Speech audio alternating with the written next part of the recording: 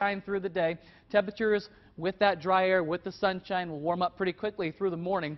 About 67 degrees at lunchtime, 75 as we head towards 4 o'clock today. I think wall-to-wall sunshine. So if you're going to be out and about, maybe put a little bit of sunblock on to be on the safe side. 75 are high in St. Joe, 77 in Lawrence, 76 in Belton. Around the metro, most of us hanging out in those middle 70s, and I'd say pretty close to 75 in Lee's Summit.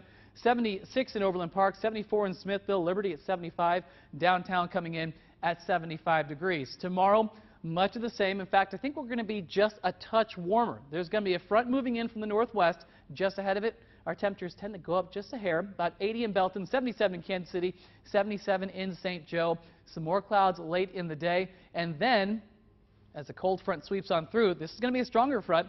Check out your highs on Friday. 63 in Kansas City, 63 in St. Joe, 64 in Belton, Lawrence at 64 degrees, a breeze out of the north at 5 to 10 miles an hour. And as we head into your Saturday morning, as that cold air settles right over us, we're talking about 30s for our morning low temperatures. And again, this is for Saturday. Some areas could actually see a little bit of frost, and I'd say especially across northern parts of Missouri, rural areas, er, rural areas as well, and valleys. Those are going to be the spots in particular that have the better chances of seeing some frost on our Saturday morning.